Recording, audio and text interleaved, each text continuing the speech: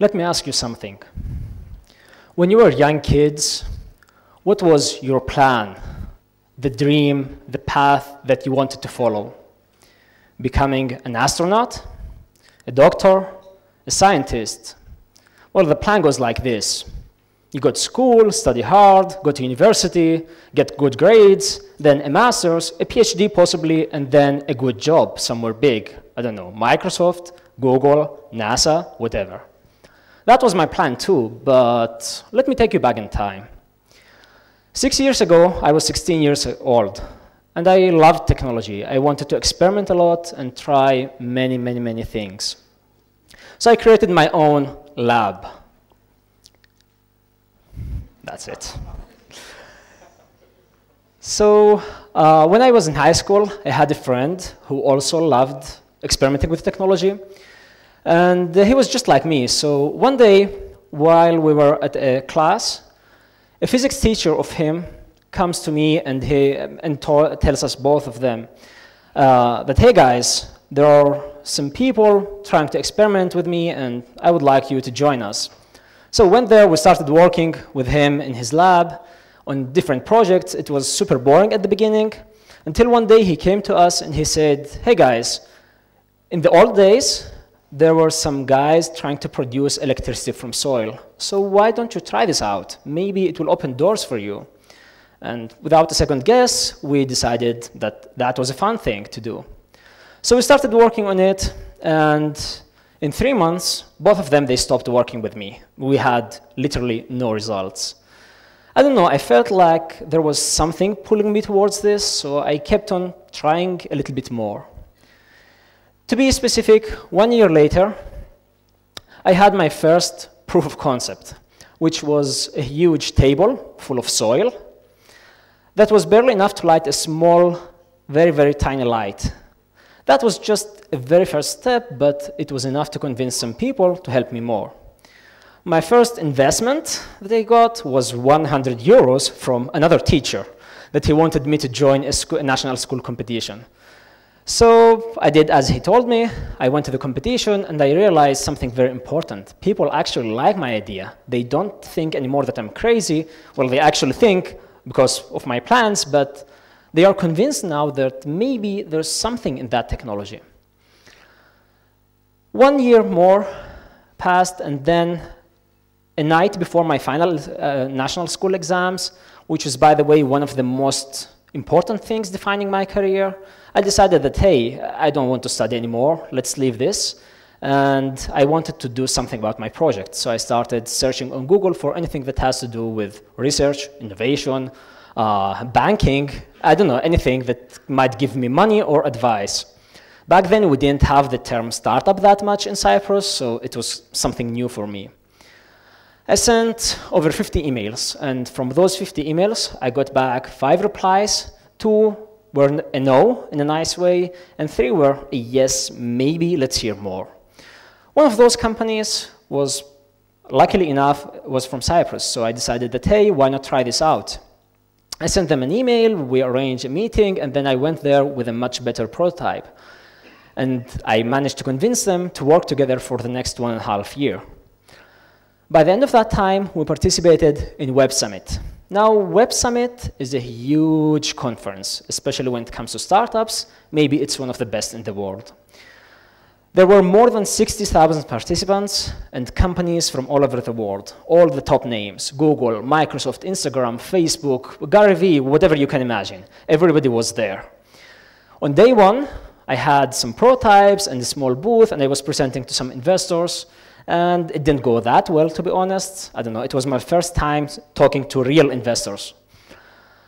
The second day was a pitch competition. That pitch competition, you start from one and a half thousand companies, and then you manage after three rounds to get to the finals. I don't know how or why or what happened exactly. I don't remember, but I made it to the finals. And the finals was actually uh, pitching in the arena. And this one that you see in the picture, that was actually uh, in front of 15,000 people global media coverage, so it was something really scary for me. I never dreamed of talking in front of people, and especially at my first time being in front of a judging panel. Anyway, um, I remember a few hours before the pitch, they gave me a wristband that said speaker guest. And that wristband, well, it had magic powers. You go to the backstage, you raise your hand like this, and security personnel go like this, and you enter to the celebrities, and you see something huge there, all the big names. I remember seeing Gary Vee actually there. I was like, whoa, me and Gary Vee in the same room, that was something I never expected. So as you can imagine, I used this magic power wisely, so I went in and out, in and out, in and out, making like this. It was fun, to be honest, being a celebrity even for a while. So Long story short, the pitch went better than expected, and by the end of that pitch, my life was changed. The day before, I was begging investors to listen to me. The day after, investors were knocking at my door. Not the average one, big ones. Big companies were discussing millions of dollars on deals with me, and it was something huge. I mean, I was 19 years old. I never imagined this. Now, you might think, this is a picture. so now you might think that after this, I had a happy life, making millions and millions and living happily as every entrepreneur did. But the, the, truth is that I overestimated my abilities, my experience in business, and my trust in people. And that had a huge, huge cost to me. Long story short, the project got paused. I lost four years of my work for nothing. The only thing that le was left for me was the knowledge I got from there and nothing more. You can imagine how depressing that was, being 19 years old, having to deal with such big failure, and knowing that it's not your project that was not good enough, but the circumstances, the circumstances around you. It was terrible. For a few months, I had no energy to do anything, literally. I was like, just like skipping school, um, skipping actual university, not meeting my friends, not doing anything specific. So a few months later, I heard about a competition called NASA Space Apps Hackathon. It's a global hackathon organized by NASA, and they give you some problems that you need to solve, and if you solve them good enough, you go to the globals, and then if you win, you get an invitation to Cape Canaveral for a rocket launch. I was like, whoa, that's nice. So to be honest, I never, I thought that, okay, winning is impossible. It's a big thing. But why not try to get on my feet again and see what I'm capable of? Until that time, everybody was doubting my skills as team leader or as CEO or anything like that. So I was like, hey, let's try and see what happens. I mean, what's the worst case scenario? Losing a competition. So I organized a team of 17 people from solo entrepreneur to 17 people team. It was a huge difference. And they were from different ages, different backgrounds, different mentalities. It was a mess. I remember one of the local competition organizers, he came to me and he gave me his hand and he says, I bet that with such a team, there are only two options. You will either do something great or you're going to be a big failure. And I bet on the second. I was like, whoa, what a motivation. I mean, come on. You don't go and say this thing to somebody who's just starting, especially after kind of a depressing moment. So yeah, uh, the challenge was on again. And long story short, it was a huge, huge thing. Those 48 hours were having like lots of trouble, fighting with other teammates. Some of them, they still hate me for this. Uh, but in the end of those 48 hours, we managed to get only the third place locally. I mean, come on, out of 10 teams, third place, that's really disappointing. That's, what, that's not something that I wanted. But anyway, we got the ticket to the global uh, competition, so there was a chance.